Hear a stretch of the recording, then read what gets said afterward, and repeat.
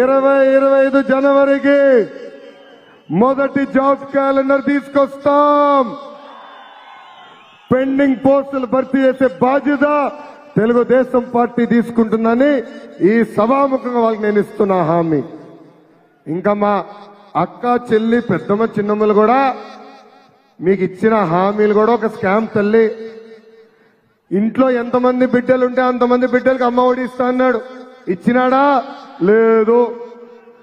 సంపూర్ణ మద్యపాన నిషేధం అన్నాడు. సంపూర్ణ మద్యపాన నిషేధం కాదు కదా తల్లి. మద్యం తయారు చేసేదే జగన్ రెడ్డి. బాటలు నింపేదే జగన్ రెడ్డి. విచిత్రం దానికి స్టిక్కర్ అంటించేది ఆయనే. సప్లై చేసేది ఆయనే.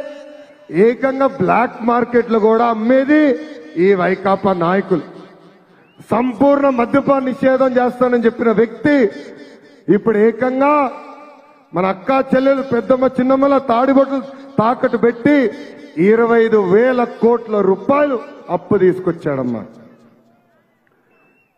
ఇప్పుడు పరుపాటున ఆ క్వార్టర్ బాటిల్ కానీ రోజు తాగితే మూడు వందల అరవై ఐదు రోజుల్లో గోవిందా గోవిందా డైరెక్ట్ దేవుడి దగ్గరికి లే పరిస్థితి ఈ రోజు ఆంధ్ర రాష్ట్రంలో ఉంది. ఈ ఎన్నికల ముందల రైతు భరోసా అన్నాడు. ప్రతి రైతుకి పదమూడు వేల రూపాయలు ఇస్తా అని చెప్పినాడమ్మా. ఏమైందమ్మా ఇప్పుడు? కేవలం ఏడు వేల ఐదు వందల రూపాయలు ఇస్తున్నాడు. అంటే ప్రతి రైతుకి ఈ ఐదు సంవత్సరాల ముప్పై వేల రూపాయలు బాకీ ఉన్న వ్యక్తి ఈ స్కామ్ మోహన్. ఇంకో పక్కన మా వృద్ధులు మా అవ్వ తాతలు ఎన్నికల ముందలు చెప్పినాడు. రెండు వేల రూపాయలు పెన్షన్ మూడు వేలు చేస్తాను. చేసినాడమ్మా? చేసినాడా? ఇప్పుడు ఒక సంవత్సరంలో రెండు వందల యాభై పెంచుతున్నాడు. మా అబ్బ తాతలకి ఈ ఐదు సంవత్సరాల జగన్ రెడ్డి పడిన బాకీ పద్దెనిమిది వేల రూపాయలు. ఇంకేకంగా పేదలకు ఇచ్చే ఇల్లు కూడా ఒక పెద్ద స్కామ్.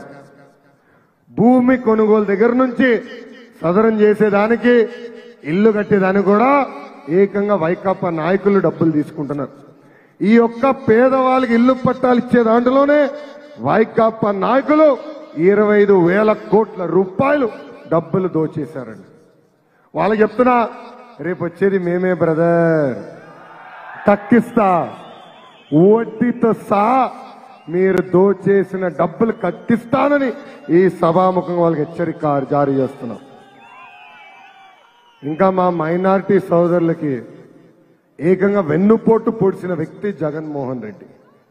ఈ ఎన్నికల ముందర మీకు ఏం చెప్పినాడు? ఇస్లామిక్ బ్యాంక్ ఏర్పాటు చేస్తామని చెప్పినాడు. దాదాపు మూడు సంవత్సరాలు తొమ్మిది నెలలైంది.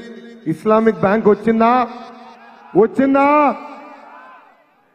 అంతేకాకుండా మైనార్టీ కార్పొరేషన్ ఈరోజు చంపేశారు. దుల్హన్ పథకాన్ని చంపేశారు. రంజాన్ తోఫా చంపేశారు. షాదీ ఖానా చంపేశారు. ఇమాముల్ మోజంకి ఇచ్చే గౌరవ వేతనం కూడా ఈ రోజు చంపేశాడు ఈ జగన్ రెడ్డి. ఇంకా నాకు బాధ వేసేది ఏంటంటే గత మూడు సంవత్సరాలు తొమ్మిది నెలల్లో పది మంది మైనారిటీల్ని చంపేసిన వ్యక్తి జగన్ రెడ్డి. నలభై ఆరు మంది పైన ఏకంగా దాడులు కూడా జరిగినాయి. నంద్యాల్లో ఈ వైకాపా నాయకులు టార్చర్ తట్టుకోలేక అబ్దుల్ సలాం అతని కుటుంబ సభ్యులందరూ కలిసి పురుగు ముందు తాగి ఆత్మహత్య చేసుకున్నారు. ఎమ్మిగనూరులో హజీ రబీ అని ఒక మైనారిటీ మహిళని అతి కిరాతకంగా మానభంగం చేసి చంపేశారు వైకాపా నాయకులు. ఆనాడు మేము వెళ్ళి పోరాడాం.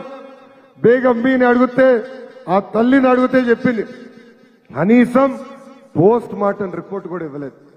మీరు రాజధాని అంటే ఏం చెప్తారు సార్? రాజధాని? ఎందుకు ఈ ఆలోచన చంద్రబాబు నాయుడు చేయలేదు సార్ మరి అప్పుడు? ఇప్పుడు అందరూ ప్రజల ప్రజలంతా అంగీకరిస్తేనే అమరావతిని తీసుకొచ్చింది. ఆయన ఎన్ని భూములు కొన్నారో ఆ కోపం మీదనే మీరు రాజధాని మాకెందుకు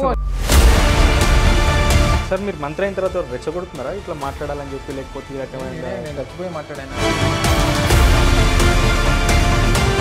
కుటుంబ సభ్యులు ఇన్వాల్వ్ చేసి పవన్ కళ్యాణ్ మూడు పిల్లలు అలాంటివి మాట్లాడుతూ ఉంటారు కదా. మూడు పెళ్ళి చేసి భూత అది? తెలంగాణలో రిజిస్ట్రేషన్ అయిన వారాహి ఇక్కడ తిరగనివ్వమని చెప్పి చెప్పారు అయినా చెడ్డకెళ్ళిపోయిన బండి గురించి మన డిస్కషన్ తెలియదు.